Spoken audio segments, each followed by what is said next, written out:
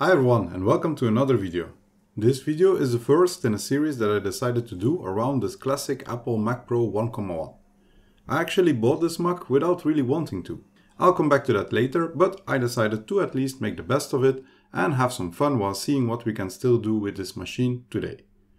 In this video, I plan to give a short introduction to this Mac Pro 1.1 and then I'll install an SSD and get this machine to run its latest possible version of macOS, which is El Capitan. Despite this being a Mac, running this older version of macOS might not be the best operating system for this device. That's why I will do a follow-up video where I will also install Windows 11 on this machine and I also plan to upgrade the CPUs. So make sure to subscribe in order to not miss all of that. Let me go back first and tell you a bit more about how I got this machine to begin with. As I mentioned, I didn't plan on buying a Mac Pro 1.1. Instead, some time ago, I wanted to get my hands on another 4.1 or 5.1 mainly to try to install Ventura and also because I missed playing around with one of these. Unfortunately, a 4.1 or 5.1 still goes for a pretty high price, so I was just keeping an eye on secondhand websites for some time, hoping to find an interesting deal. One day, I saw an advertisement described as Mac Pro, dual 2.66 GHz Xeon CPUs and a GT120 video card. There was nothing mentioned about the model or year nor any screenshots. The price was on the low side, but not suspiciously low. The advertisement also had a few photos, and on these there was a Mac Pro with two FireWire 800 ports.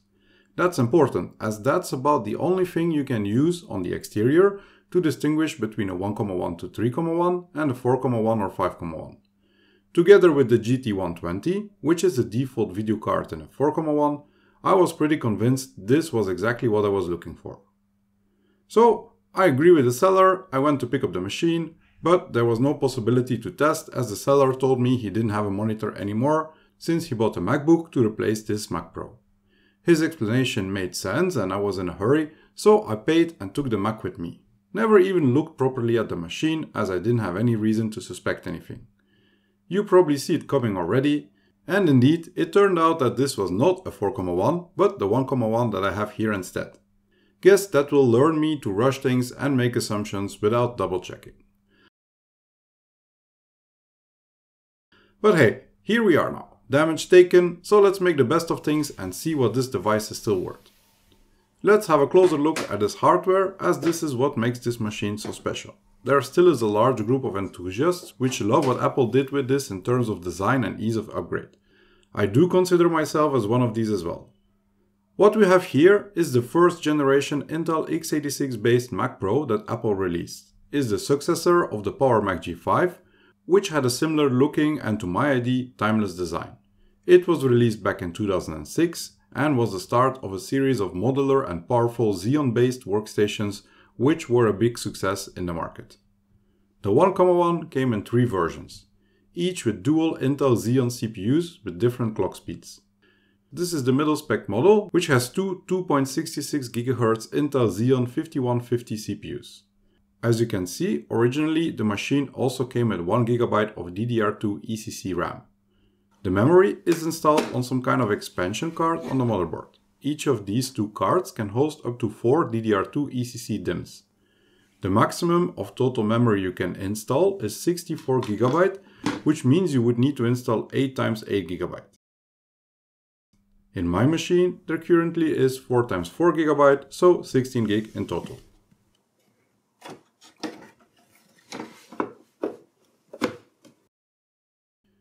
In terms of storage, this case can house up to 4 SATA drives in these easy to remove drive bays. I bought it with already 3 drives installed, 2 times 250 gig and one hard disk of 500 gigabyte.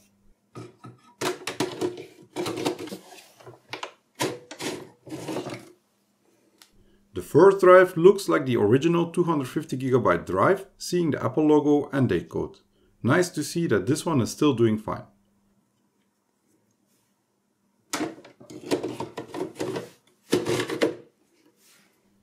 On top here, there is also room for two optical drives. In this model, they are still connected with IDE, and mine still has the original SuperDrive as Apple calls it.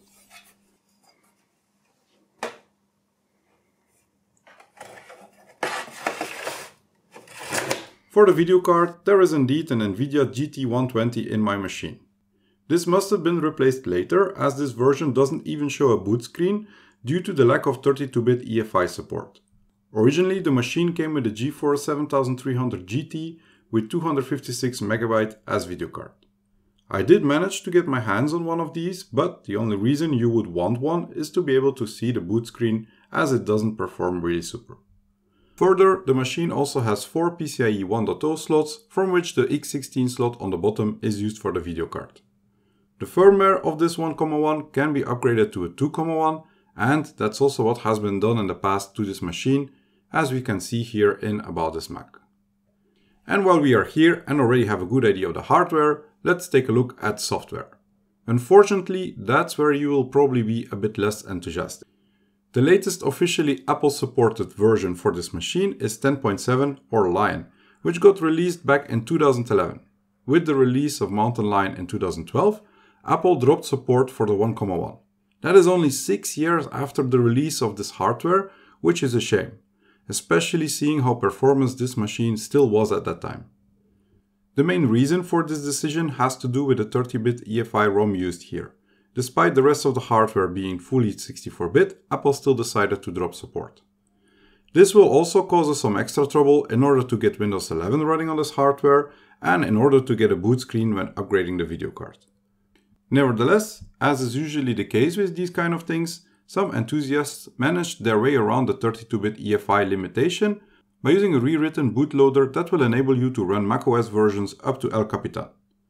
Unfortunately, that is where it stops, as newer macOS versions like Sierra required support for SSE4, which is lacking on the hardware. At this moment, this Mac Pro 1.1 still is running on the last official supported version, Lion. Things seem to work just fine. It looks like the previous owner did perform a fresh install on that original 250GB hard drive. Everything feels really smooth and fluent, and it looks nice to see this old version of macOS back after all this time. So we plan to use El Capitan. Unfortunately, the originally supplied GPU is not sufficient, but the GT120 with 502MB, which is in here, should do just fine. Before all of this, let me also install an SSD, which will greatly improve performance in any case. I'll put a 2.5 inch SSD in an enclosure, which makes it exactly the size of a 3.5 inch drive. As the connectors are lined up the same, we can use that second free drive bay to install the SSD.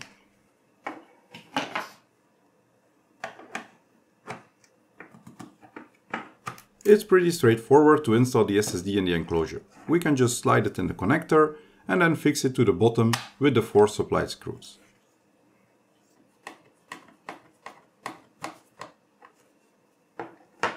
Then all it takes more is to fix the enclosure to a free drive bay bracket.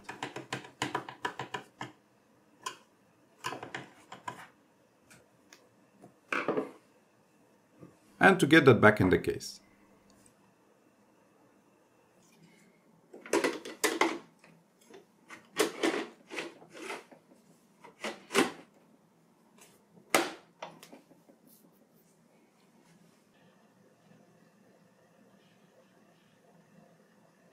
After booting into macOS Lion once more, the SSD got detected but needs to be initialized. In disk utility we can indeed see that new drive, which is in bay 2, and to start using it, we can just erase it and give it a name.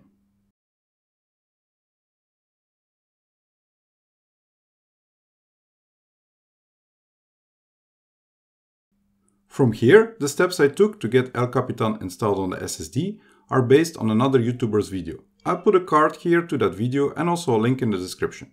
I will not go into too much detail as you can find all what you need in that other video. As a start, I pre-downloaded the required images on the currently installed OS in the folder El Capitan that I have on the desktop here. As the first step, we need to open that disk image by dragging it to Disk Utility and then scan the image for restore.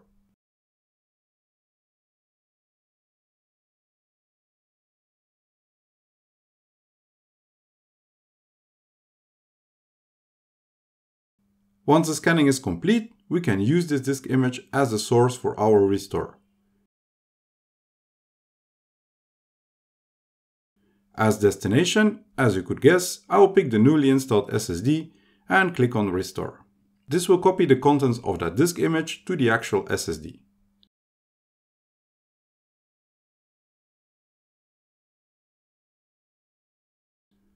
Now that that image got restored, we can close disk utility and the next step is to replace the bootloader with a modified version that allows booting El Capitan on this Mac that has 32-bit EFI. Before we can do that, we need to allow changes to the boot EFI file. To do so, we need to open Finder and navigate to System, Library, Core Services, and here we can find boot.efi on the SSD. Now open Terminal and type the following.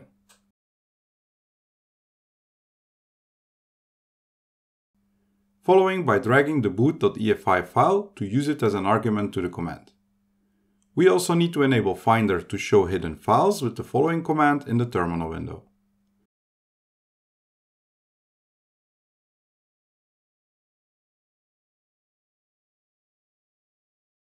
followed by a restart of Finder by killing it. Now we're ready to overwrite the boot.efi file with a modified version downloaded from Pykr's website. Still in System Library Core Services, replace the original boot.efi with the modified version and confirm.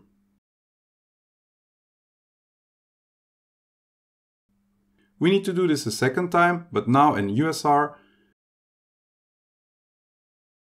standalone i386. And here again, we need to replace boot.efi with the downloaded and modified version. Right now, we can boot the system using the SSD. Since the installed video card doesn't allow us to see the boot screen, we can use Startup Disk utility to select which drive to boot from. With a card that does display the boot screen, you can just hold Alt or Option during boot to show the boot menu. So, in Startup Disk, we select to boot from the disk containing 10.11, which is El Capitan, on the SSD, and click Restart. Later, from El Capitan, we could use the exact same method to boot back into Lion if we desire.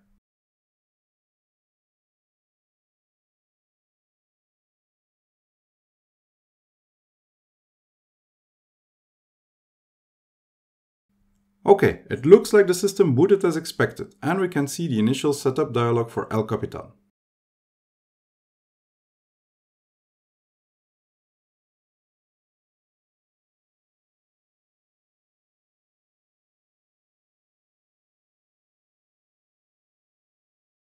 After quickly going through these steps, we get to see the El Capitan desktop wallpaper.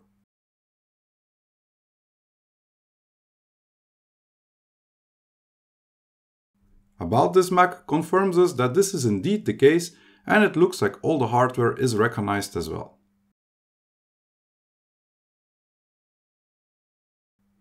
Now that we have El Capitan on here, the question comes on how usable a Mac Pro 1.1 still is for today's typical tasks. The hardware is not the newest, but as you can see with starting these basic applications, it doesn't really give a sluggish impression if you don't look at power consumption, it's still pretty usable. The real problem is probably the age of the operating system.